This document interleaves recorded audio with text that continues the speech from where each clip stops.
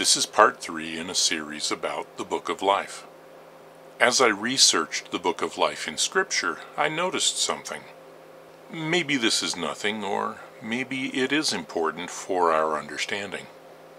I could find no Scripture saying where or when names were added to the Book of Life. But why might that be important? It might provide insight into several issues. Harmonizing that piece of information may create a more coherent understanding. I'm kind of treading in the deep end here, so there are not as many on point scriptures. But this may, like I said, support a more coherent understanding. First, there were two scriptures I mentioned at the end of part 2. John 3:16 For God so loved the world that he gave his only begotten son that whosoever believes in him should not perish but have everlasting life. The word world comes from cosmon or cosmon. It is a word of universal inclusion, all people in the world. For God so loved the world that he gave his only begotten Son, that whosoever believes in him should not perish but have everlasting life. Some might argue this means the globe or the earth, the planet. And yes, this word can be used for the planet. Here are some examples that obviously mean the planet. Acts 17:24 God that made the world and all things. Mark 16:15 Into all the world and preach. Luke 9:25 If he gain the whole world and lose. John 3:17 The Son into the world to condemn. 1 Timothy 1:15 Came into the world to save sinners. Hebrews 10:5 When he comes into the world, he says. The context makes it very easy to understand these refer to the earth, the planet, that made the world, into all, gain the whole, into the world, into the world. So we must not ignore that possible meaning of for God so loved the world. But if you want to imagine it only means the planet, John 3:16 reads like the following: For God so loved earth, the planet, that he gave his only begotten son, that whosoever it simply does not fit the transition. God loves the planet but does something for people. It is right to consider, if not conclude, the offer of salvation is to every human on earth. For God so loved the world that he gave his only begotten Son, that whosoever believes in him should not perish, but have everlasting life. This only makes coherent sense if whosoever draws members or people from the set of all people, referred to as the world. In 1 Timothy 2 3, For this is good and acceptable in the sight of God our Saviour, who will have all men to be saved, and to come unto the knowledge of truth. You know this word men means mankind, right? Not just males. So that is two reasonably on point verses that God's will, His desire, His intent is for all to be saved. And yet there are some begging questions that are always raised, and rightly so. What about those before the covenant? What about those today, like pygmies, who have not heard the gospel? What about evil? What about suffering? What about slavery?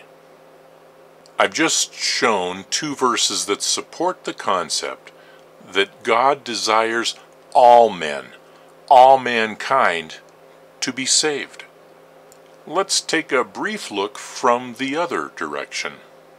Then shall he say also to them on the left hand, Depart from me, you cursed, into everlasting fire, prepared for the devil and his angels. Think about this. God has had an eternal plan. Jesus describes hell and why God made it, prepared it, who God prepared it for. Prepared for the devil and his angels. For some reason, Jesus omitted, and those predestined to be damned, or those created for destruction. The Quran says Islam's Allah created hell for unbelievers, men and women. Surah 224. But if you do it not, and never shall you do it, then be on your guard against the fire, of which men and stones are the fuel. It is prepared for the unbelievers. Surah 3 131 and guard yourselves against the fire which has been prepared for the unbelievers. That's just a nugget too critical to pass up. In Islam's wretched fairy tale, its deity created hell for people, humans, unbelievers. Then shall he say unto them on the left hand, Depart from me, you cursed into everlasting fire prepared for the devil and his angels. So God wants all men to be saved. God loved all men so much he gave his only Son. God created hell for the devil and his angels, demons. And names are removed but never added to the book of life. If it were not for one thing, I think it would be fair to say, those four truths shout, everyone is going to heaven. What's that one thing? Free will. You have the choice. But maybe you do not know you have the choice. For me, as I have been cogitating and ruminating on this, it seems like this answers the begging questions. What about those before the covenant? Romans 2:12 For as many as have sinned without law shall also perish without law, and as many as have sinned in the law shall be judged by the law. Paul describes two sets of people those without law and those with the law, under the law. For as many as have sinned without law shall also perish without law. Would it be righteous for God to hold those without law to the same standard of the law? Hold your answer. And as many as have sinned in the law shall be judged by the law. That makes perfect sense.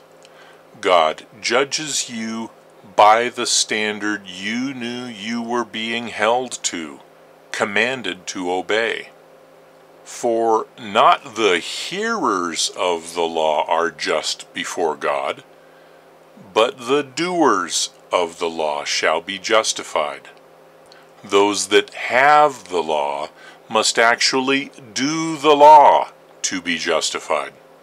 For when the Gentiles, which have not, or do not have, the law, do by nature the things contained in the law, these that don't have the law are a law unto themselves.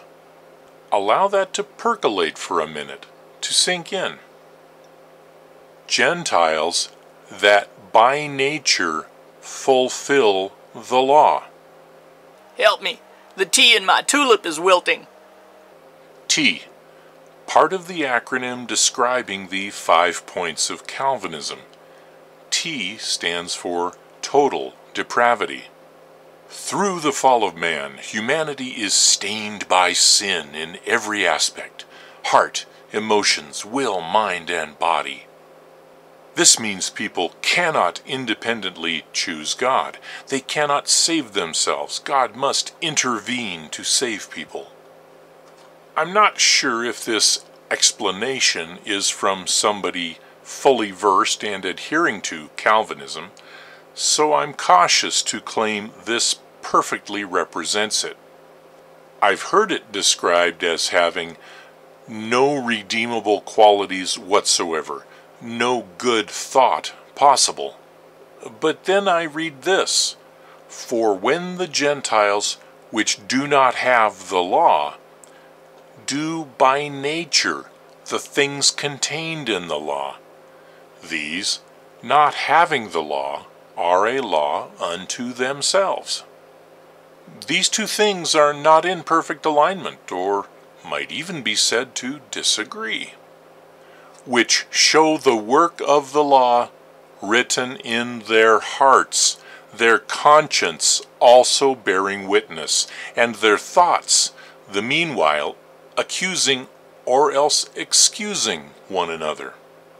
Gentiles, before the crucifixion, and pygmies after the crucifixion, have the law written in their conscience.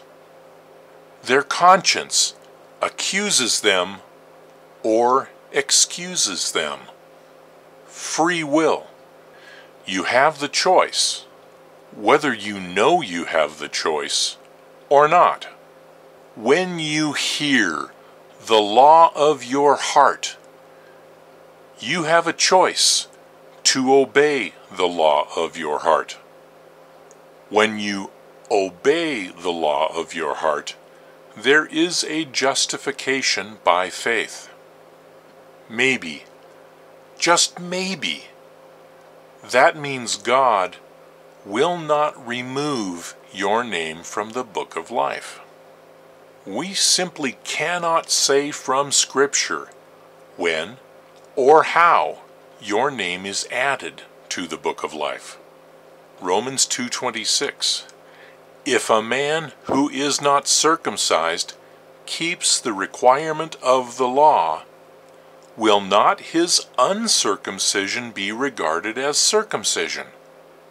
In a more clear translation, if the Gentile who is not circumcised obeys the commands of the law, will not God regard him as though he were circumcised? Romans 4 3. For what does the scripture say?